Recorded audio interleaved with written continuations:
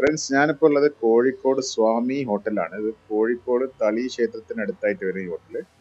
തളി ക്ഷേത്രത്തിൽ നിന്ന് മാരിയമ്മൻ കോവിൽ അമ്പലത്തിലേക്ക് പോകുന്ന ഒരു വഴിയുണ്ട്. ആ വഴിയിലാണ് ഈ ഹോട്ടലുള്ളത്. പഴയ ഹോട്ടലാണ്. ചെറിയൊരു ഹോട്ടലാണ്. സാമരിയൻസ് സ്കൂളിൽ പഠിച്ച എല്ലാവർക്കും നന്നായിട്ട് അറിയുന്ന ഹോട്ടലാണ്. വെജ് ബിരിയാണിയാണ് ഇവിടുത്തെ ഫേമസ് അപ്പം ഞങ്ങൾ അങ്ങനെ ഒരു വെജ് ബിരിയാണി പറഞ്ഞിട്ടുണ്ട്. നല്ല ചൂട് വെജ് ബിരിയാണി ഞങ്ങളുടെ ടേബിളിലെത്തി. ഈ വെജ് ബിരിയാണിയുടെ പ്രത്യേകത പറയുകയാണെങ്കിൽ ഒരുവിധപ്പെട്ട എല്ലാ വെജിറ്റബിൾസും ഇതിലുണ്ട്. കോളിഫ്ലവറും സോയാബീനും ബീൻസും ക്യാരറ്റും എല്ലാം ഉണ്ട്. പിന്നെ ഇതിന്റെ കൂടെ അവർ തരുന്നത് സാലഡും പിക്കിളും പപ്പടുമാണ്. അപ്പം ബിരിയാണി നമ്മൾ ചൂടോടെ അകത്താക്കാനുള്ള ഒരു പരിപാടിയിലാണ്. അപ്പോൾ ബിരിയാണീന്റെ ഈ ചൂട് പോകുന്നതിന് മുന്നേ ബിരിയാണി കഴിക്കണം. അതാണ് അതിന്റെ രസം. പിന്നെ ഇതിന്റെ ഒരു കോമ്പിനേഷൻ എങ്ങനെയാണെന്ന് വെച്ച് കഴിഞ്ഞാൽ നമ്മൾ കുറച്ച് പപ്പടം പിന്നെ ലേശം നാരങ്ങ അച്ചാറ് പിന്നെ ആ ഒരു സാലഡ് ഇത് എല്ലാം കൂടെ കൂട്ടിക്കുഴച്ച് നമ്മളൊരു പിടി പിടിക്കണം.